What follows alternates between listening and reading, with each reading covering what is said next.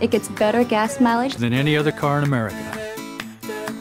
It uses solar power to cool the interior. If you drift, it automatically brings you back into your lane. Press a button and it parks itself. It uses radar to keep you a safe distance from the vehicle in front of you.